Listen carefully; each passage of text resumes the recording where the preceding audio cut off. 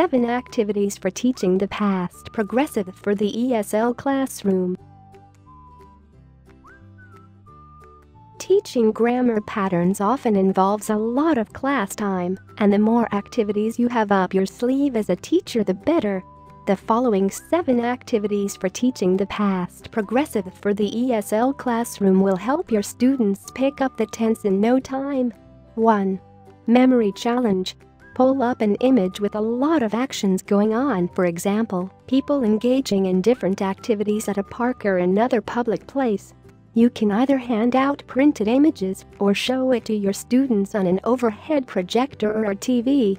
After having your students analyze the image, turn off the TV or collect the prints and start asking what the people in the photo were doing. 2. People watching. This is a great activity you can perform outside of the classroom with the whole class or for each student as homework. The first part of the activity consists of heading to a public area to watch people going about their business. Have your students bring a piece of paper and a pen and take notes of what people are doing. Later, the students report back what they saw people doing in the past progressive. 3. The luck of the draw.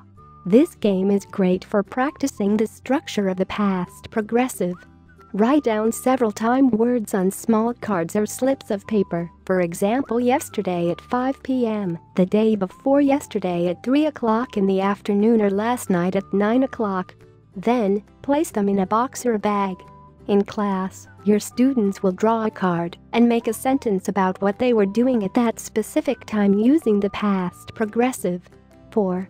What you didn't do Put your students into pairs or small groups and have them make lists of what they did yesterday. Then, have the students ask for actions that were missing from the list, like why didn't you do your homework? The other student responds using the past progressive, such as I was playing with my friends. 5. So much in common. The goal of this activity is to find common things the students did at the same time Pair up your students in the classroom and have them ask about what they did over the weekend. For example, what did you do on Saturday at 7 p.m.? The student answers something like I was playing soccer with my brother. The teen who finds two common actions the fastest wins. 6. Strange explanations.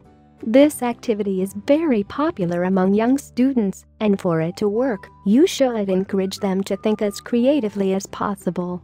A student asks a question starting with when I saw you, such as when I saw you you were sticking bubblegum to your shoe the other student now needs to give a plausible, yet funny explanation why he did so. For example, I was filling a hole in my shoe with bubblegum.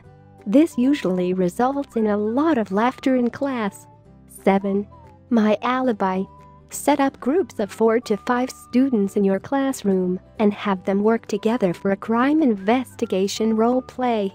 One student plays the investigator whose job it is to find out who stole a cookie from a cookie jar, or something more serious for older students. The investigator goes around asking the suspects in their group what they were doing at different times when the theft occurred, and the suspects answer using the past progressive.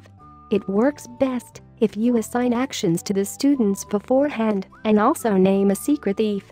Are you ready to teach English abroad? These seven activities for teaching the past progressive for the ESL classroom are ideal to help your students understand the structure and usage of the past progressive. Apply now for your TEFL TESOL certification course and start teaching in a matter of months. Speak with an ITTT advisor today to put together your personal plan for teaching English abroad. Send us an email or call us toll free at 1 800 490 0531 to speak with an ITTT advisor today.